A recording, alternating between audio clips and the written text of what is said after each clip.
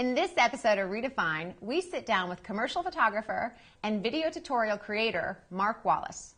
He shares the pretty fascinating road he took to build his career, which included producing years of morality plays nationwide, several bouts of hospitalization due to flat out exhaustion, and all kinds of awesome hairstyles. Also, Mark faces the flash round and he opens up about some of his favorite gear and his technical pet peeves.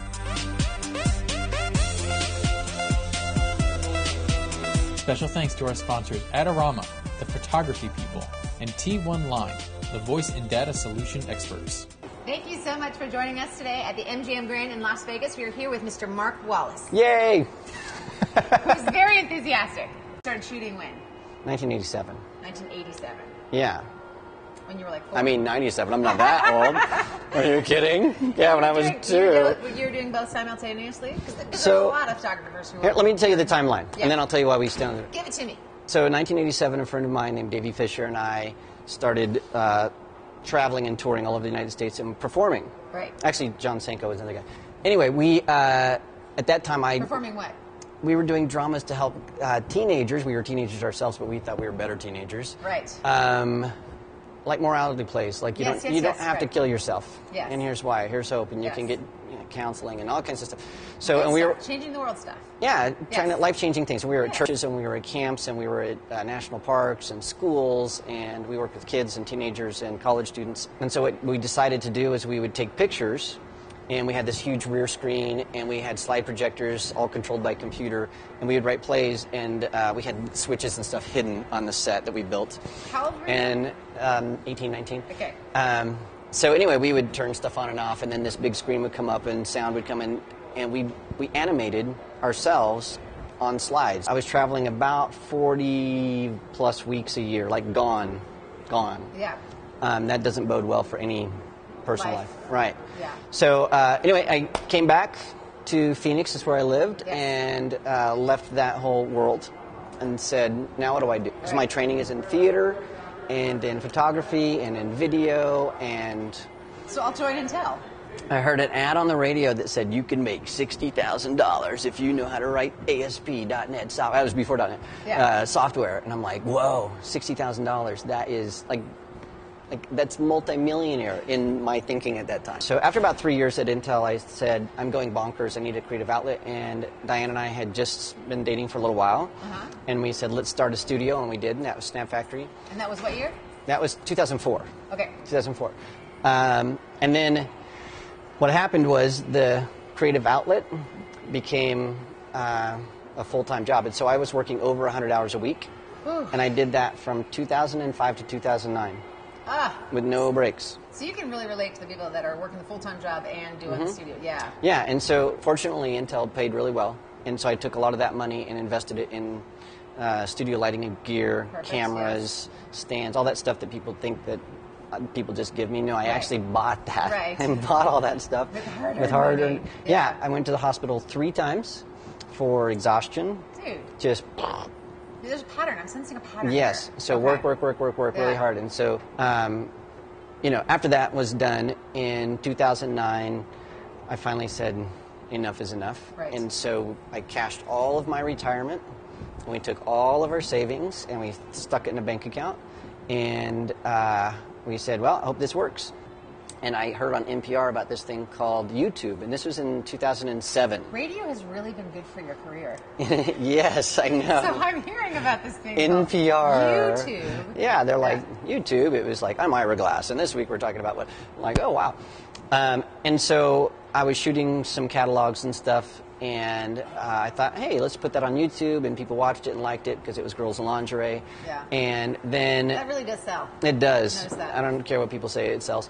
Uh, StudioLighting.net called Diane and said, hey, Uh-huh. we'd like a husband and wife to be interviewed for our light source photography podcast. Right. And Chase Jarvis had been on the week before us when we thought, that's really cool. We could be Yeah. in the same thing as Jarvis. Yeah.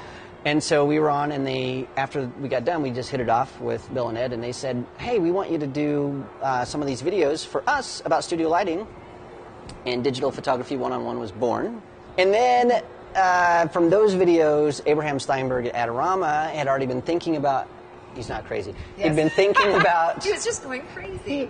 he was thinking about this thing called Adorama TV, and he was looking for people, and he saw those videos, and he called me, Yes. and I said, "Sounds great." I flew to New York. We worked for about six months to develop the program, and then we launched. And launch. And, it And was a lot of like, uh, we'll see how this goes. No idea. Yeah. See, I think this is really interesting because a lot of people know you mostly as that guy. Yeah. That guy on YouTube. That after just Just the, the package. bam, I showed up. Yeah. And it's like, no, it started in the late 80s. I had a question come in. Um, I mentioned that we were going to be interviewing. Someone wanted to know what are your personal goals next? Personal goals, non photography goals. Personal goals. Spend more time at my house with my wife and dogs. Okay. Number one. Number one. Yeah, that's number one. Um, travel Yeah. more. Oh, but that doesn't really work. That would be great. I know, but no, together. Like, like my dream is to take my dogs and my wife and get like one of those insanely large gas guzzling bus tour bus, Yeah, like the flash bus tour kind of Yeah, bus yeah, buses. And I would like to just travel all over the United States and not go to. I mean, I, I love big cities, Yeah. but I love little towns like Jordan, Montana better. I've seen most of America. I haven't seen the Northeast. Yep. And so I'm talking to my friend Dave Schmidt, and we are hopefully going to hop on our motorcycles and ride up the New England coast and all over this fall. Yeah. And we're going to invite a bunch of friends and family to just join us. Yep. So if you're a motorcycler, come with us. Um, There's room for you. if you're a motorcycler, come join the Mark Wallace Motorcycle. Tour. Um, no, but we just want to go and See things. yeah, and I haven't had a vacation in years. The- Yeah. The, last vacation. You have a pace. You have a pace to your work life right now. Yeah, it's too much. It is. And so we're trying to scale that down. Um, fortunately, I have Kelsey and Michael and Matt and Diane and yeah, Aaron. good crew. What's next for you professionally? Professionally, what I would like to do, um, there are lots of things. Because So- you do a lot outside of a lot of people, you know, on Adorama TV, you know you. Obviously, you Mm-hmm. do a lot with digital one-on-one, but you do a lot outside of that with shooting and Mm-hmm. workshops and instruction. Yeah, so um, Adorama is, is phenomenal because they allow us to do videos, tons of videos. They provide gear and equipment and funding and that stuff. Um, and so it's just, it's a blessing every day. The thing that is difficult about that blessing, though, is the, the way that people see my work is in context of tutorial videos. Right. And the heart of my artistic self is I love to help people. And so uh, one of our philosophies at Snap Factory is local, person to person. That's what things. That's what should happen. One on one. Yeah. See how that works. Mm-hmm. So we exist because we believe that we need to make the world a better place, and we think that we can make the world a better place by actually having dialogue with people in real time, locally, and then from there, then maybe we can do some things globally that are good. But as cliche as it is, if you don't have a group of people that you sit down with and have conversations with on a regular basis, then you need to add that to your life. Yeah. Well, I mean, it starts at home. That that's always Yeah. been true. Whatever your home is. Mm-hmm. Um, but yeah, I mean, and I think that uh, that's a great point because part of what's great about social media is it connects you to more people, but it does it in a very shallow, abbreviated manner, Right. As opposed to connecting. And I think a good argument could be made that it doesn't connect you. Yeah. It just makes you aware of how inadequate you are. As, as we were talking about earlier, it gives you this complex of, I'm, I can't compete with, you know, somebody else that has so many more followers and so many more likes and so many more things. Which is hilarious because people hear you say that and say, "What are you talking about?" Uh, You know? yeah. And there's always something. There's always someone who's like more or le- yeah. yeah, y- and exhausting. it's a losing game. Well, I was going to do something new, which was um, a flash round. You have to answer as soon as you hear the question. You can't Okay. think, you can't Yes. deliberate, and Blue. if your answer is not completely 32. if your answer is not completely what you had hoped for it to be, you can quickly correct at the end if you want to. Okay. Or keep in this. All right. Two favorite lenses. 24 to 70, 2.8L, and my 70 to 200. Dream camera you'd buy if money were no object. The brand new Canon, Which one? 1DX? the X. Yeah, the 1DX. Canon, Nikon, Fuji, Sony. I shoot all of them. All of And so. I have 22 You're cameras. camera. I am multi. I'm polycamera. You're polycamera. Yeah, I'm very poly camera.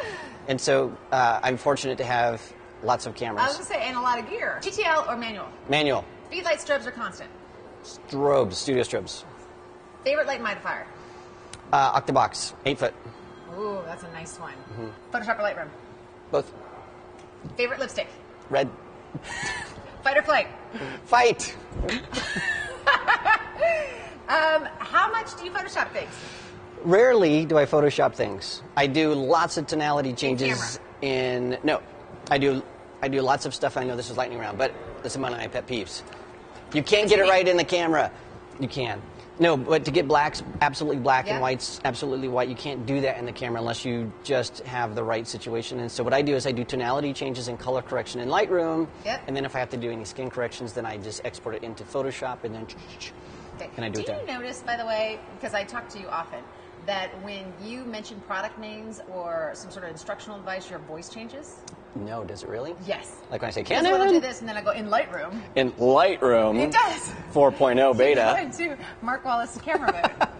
you do. Really? Listen, listen to this back. You'll see it. Okay, we're gonna play it back. So what I do is I do tonality changes and color correction in Lightroom. Perfect. Thank you. Thank you for sharing Yeah. all that. That was actually very enlightening. I really appreciate I it. I feel like I just skimmed the surface. I mean, isn't that crazy? you did. We're going to have to release the anthology next. Next, it's the 12 part series. Mark Wallace travels the world and tells his soul. Mm. That's actually not your voice. I know. All right, we're out. Thanks so much for the talk, Mark. Join us next time as we sit down with Twit Photo host and wedding and editorial photographer Catherine Hall. In the meantime, though, get your gear organized with the Kata Mini Bee backpack. There are tons of compartments for cameras, lenses, small items, and your laptop. This very comfortable bag really does it all.